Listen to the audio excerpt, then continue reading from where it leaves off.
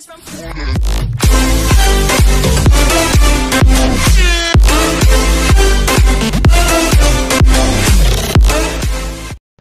दोस्तों, स्वागत है आप सभी का के बी टी फॉर फ्यूचर में। आज का ये वीडियो बहुत ही खास होने वाला है। जी हाँ दोस्तों, आज का वीडियो प्रो कबड्डी लवर्स के लिए बेड न्यूज़ लेके आया। जी हाँ दोस्तों।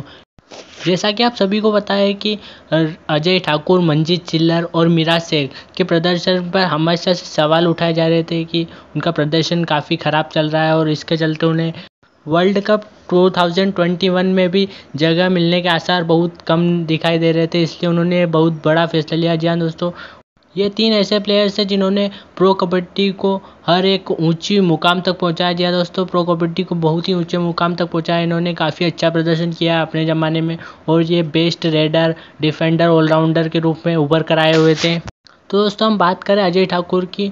तो उन्होंने अपना पिछला सीज़न तमिल थलाइवास से खेला तो उन्होंने उसमें उन्होंने काफ़ी ख़राब प्रदर्शन करते हुए उनकी टीम क्वालिफाई भी नहीं कर पाई थी।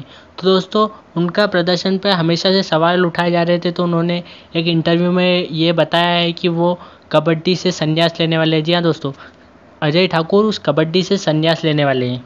अब बात करें मंजीत चिल्लर की जो कि तमिल थलाइवास से ही खेले थे, उन्होंने भी काफ़ी बेकार प्रदर्शन करते हुए अपनी टीम को क्वालिफाई भी नहीं करवा पाए और इसीलिए उन्होंने भी डिसीज़न लिया है कि वो भी प्रो कबड्डी लीग से संन्यास लेने वाले हैं। बात करें मिराज शेख की, जो कि अपनी टीम में जगह न मिल पाने के कारण काफ़ी निराश रहते थे और उन्होंने काफ़ी बेकार प्रदर्शन सीज़न सिक्स में किया था तो उनके भी पूरे आसार है कि वो प्रो कबड्डी का सीज़न एट नहीं खेलेंगे। जी हाँ दोस्तों, ये तीन ऐसे बड़े खिलाड़ी हैं जो कि संन्यास लेने वाले हैं प्रो कबड्डी सीज़न एट से पहले।